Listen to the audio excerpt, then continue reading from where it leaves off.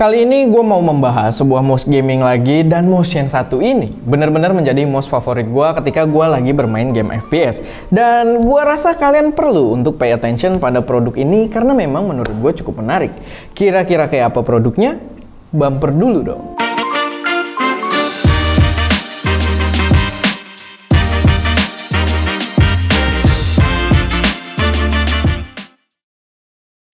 Say like you mean. Cause lately I've been wondering if we should be together. Tell me how you feel, it's now or never, now or never. But you're yelling at me for something I didn't even do. Making it so hard for me, and I think I need a vacation. Cause all we ever do now is complaining. I've been getting tired of it lately. Oh, feels like we're battling. Selamat datang di channel ST Media dengan gue Erwin dan buat yang belum tahu, ini adalah channel yang biasa membahas tentang berbagai hal yang berkaitan dengan teknologi dan juga gear-gear produksi konten kreatif. So kalau kalian tertarik dengan hal-hal tersebut, maka udah nggak perlu ragu, langsung aja subscribe dan aktifin juga tombol notifikasinya biar nggak ketinggalan update-update terbaru dari kita. Nah, kalau sebelumnya gue sempat bahas sebuah mouse gaming dari Rexus dengan nama Daxa Pro Wireless, mouse yang sekarang mau gue bahas itu masih satu keluarga dengan dia dan yang kali ini adalah Rexus Daxa Air. Walaupun masih satu keluarga, tapi apa yang ditawarkan oleh Daxa Air ini agak berbeda, di mana gua rasa fokusnya lebih ke arah enthusiast gamer atau orang-orang yang lebih niat dalam hal bermain game. Berbeda dengan Daxa Pro Wireless yang gua rasa arahnya lebih ke casual gamer yang membutuhkan portabilitas dengan fitur wirelessnya. Oke, untuk Rexus Daxa Air ini kalian bisa beli dengan harga Rp699.000. Dan menurut gue itu harga yang masuk akal dengan apa aja yang kita dapatkan. Lalu, apa aja yang bakal kita dapatkan di paketnya? Pertama pasti ada unit mouse-nya sendiri dan di Daxa Air ini ada dua pilihan warna yaitu putih dan juga hitam. Kita juga dapat beberapa aksesoris kayak mouse fit atau mouse glide tambahan satu set, karet untuk cover switch DPI dengan warna yang berbeda, pemberat, cangkang atau cover belakang dan lainnya yang bisa kalian lihat aja listnya di sini. Cuman yang berbeda itu kalau di Daxa Pro Wireless kita dapat rubber grip buat meningkatkan grip tangan kita di mouse-nya. Dan gua rasa memang di Daxa Air ini udah nggak perlu karena grip standarnya aja itu udah lebih mantep. Oke, sekarang kita fokus ke produknya sendiri. Jadi si Rexus Daxa Air ini menerapkan desain mouse yang lagi cukup ngetren di pasaran mouse gaming yang disebut dengan model honeycomb mouse. Jadi mouse ini dipenuhi dengan lubang-lubang heksagonal pada bodinya yang ternyata sangat berfungsi untuk mengurangi bobotnya dan juga meningkatkan performa grip dari tangan kita. Sehingga kita mendapatkan kendali penuh dari mouse ini. Nah, sebelum bahas soal performanya, gue mau bahas sedikit dulu soal estetiknya. Kayak yang sempat gue mention, pada mouse ini kalian punya dua pilihan warna, yaitu hitam dan juga putih. Ini masalah selera aja sih, tapi gue pribadi mendapati kalau warna putihnya ini terasa lebih mewah. RGB-nya juga nggak norak, berhasil mengkomplement mouse-nya dengan baik, apalagi tulisan Daxa yang menyala di dalam mouse-nya itu menurut gue cakep banget buat dilihat. Tapi yang gue rasain sih terkesan lebih terang di versi yang warna putih. Ya mungkin masuk akal juga sih mengingat warna putih lebih bersifat reflektif sehingga memantulkan cahaya RGB-nya sedangkan warna hitam bersifat menyerap cahaya. Tapi balik lagi ini masalah selera aja karena menurut gua warna hitam ini memberikan kesan yang lebih stealthy yang mungkin aja cocok dengan setup kalian. Paling yang gua kurang suka dari mouse ini cuman di mouse yang versi warna hitam dia mouse fitnya berwarna putih. Ya walaupun kalau lagi ditaro atau lagi dipakai fitnya ini nggak kelihatan sama sekali, cuman kayak ganggu aja gitu mengetahui kalau warna mouse fitnya ini agak kurang cocok.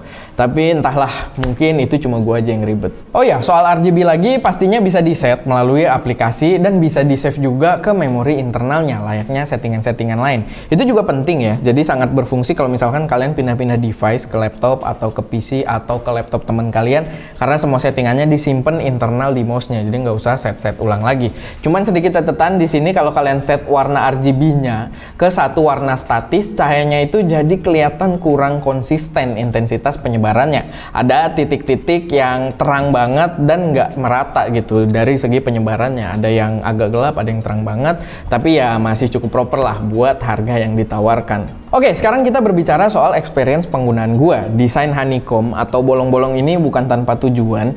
Desain seperti ini memang digunakan untuk memangkas bobot dari mouse-nya sendiri. Dan pada produk ini, Rexus berhasil mendapatkan bobot yang sangat ringan di sekitar 60 gram aja. Dan memang feel-nya itu jadi sangat ringan dibandingkan mouse-mouse yang pernah gua pakai. Tapi kalau kalian takut kaget, nggak biasa dengan mouse yang enteng banget, kalian juga bisa atur dengan pemberat tambahannya yang total bisa menambah bobot hingga sekitar 18 gram. Oh ya, kalau kalian nggak suka dengan cover bolong-bolong ini, kalian juga bisa pasangkan cover satunya yang ada di paket penjualan yang nantinya pasti juga akan mengubah estetik dan bobot dari mouse-nya sendiri. Karena dia udah bukan yang tipe honeycomb ya, jadi dia mulus aja gitu rata. Tapi gue suka karena logo yang dipakai tuh bukan logo biasanya Rexus yang robot itu ya. Dia pakai DX, Daxa, dan menurut gue somehow itu cukup keren.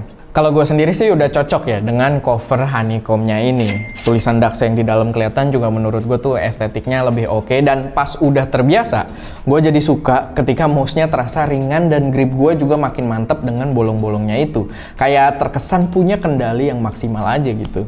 Lalu gimana dengan performanya sendiri saat dipakai bermain game? Nah, mouse ini dilengkapi dengan sensor high-end dari Pixar dengan nama Pixar PMW 3389 dan didukung juga dengan 32-bit ARM MCU atau microcontroller yang diklaim dapat memberikan pengendalian yang cepat dan akurat. Apa benar? Pengalaman gue selama menggunakan mouse ini sih memang akurasi yang diberikan itu cakep banget.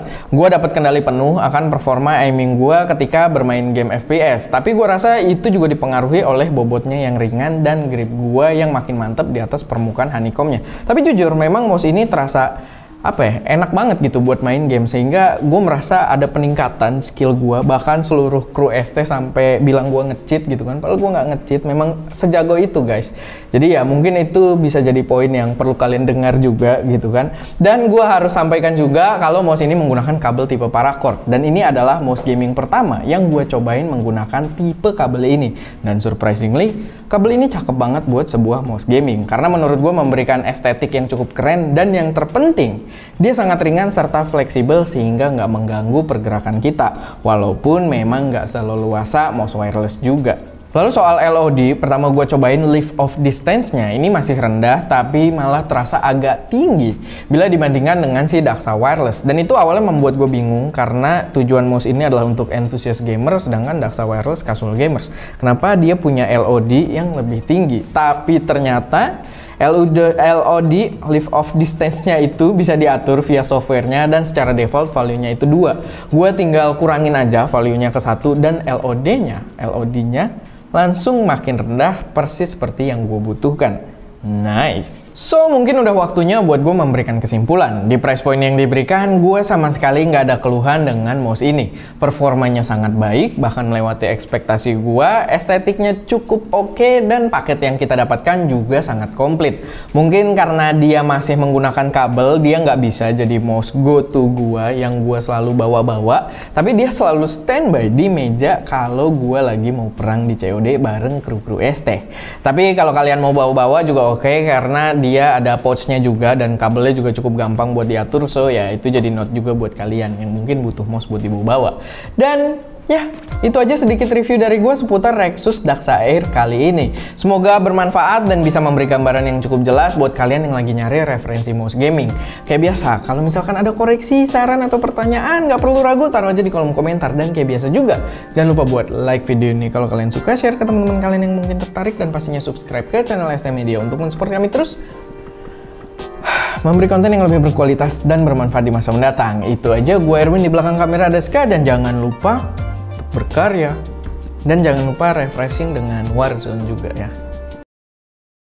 Aksesoris kayak mouse fit atau mouse glide tambahan satu set. Karet untuk cover di switch.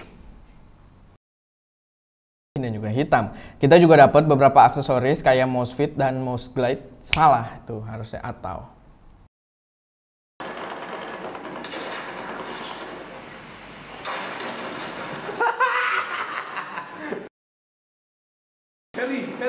bisa nggak bisa. Uh, ya. Gua kena heli. Nih.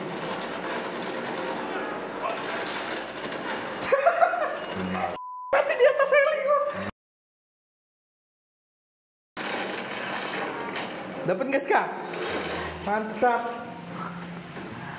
Kuat tangan tangan gue lebih hebat.